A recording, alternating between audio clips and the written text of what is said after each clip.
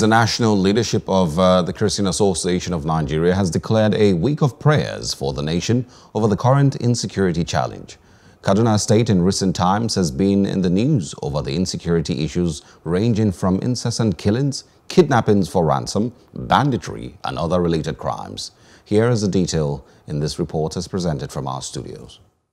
Christian faithful in Kaduna State have held special prayers for peace and other challenges confronting the nation. They clad in black and tagged the prayers for insecurity and restoration of peace in Kaduna and Nigeria at ECWA Church, Kaduna. The state CAN chairman Reverend Joseph Hayab says the prayers becomes necessary considering the unpleasant happenings in the state and other parts of the country. He argues that Nigeria is at war, even if it's not a physical battle, but a battle with conscience, peace, and unity of the people.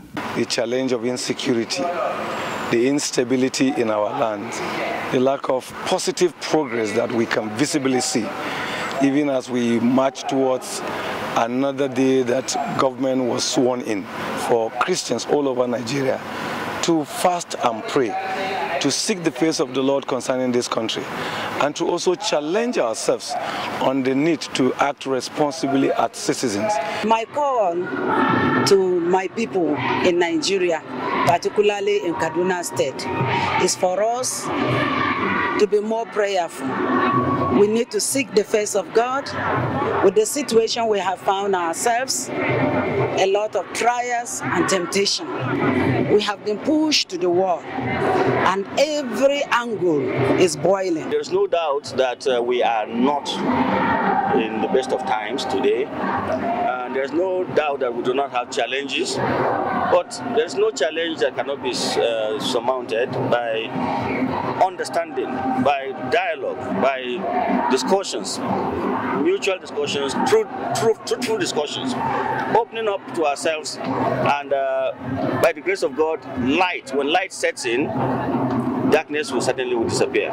The leaders expressed sadness over huge amount of money paid to secure the Greenfield students.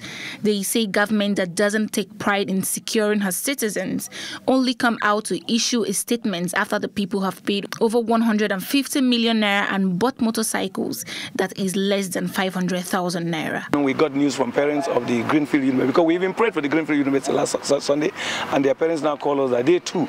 This is their day of rejoicing. We celebrate with them. The most important thing is that we thank God God they are saved, though they told us the money they paid, the things they did, which shows that we really have a long way to go if our government will be truly a government. According to these religious leaders, enough is enough of the carnage and an end must be devised to all the criminalities. Hello. Hope you enjoyed the news. Please do subscribe to our YouTube channel and don't forget to hit the notification button so you get notified about fresh news updates.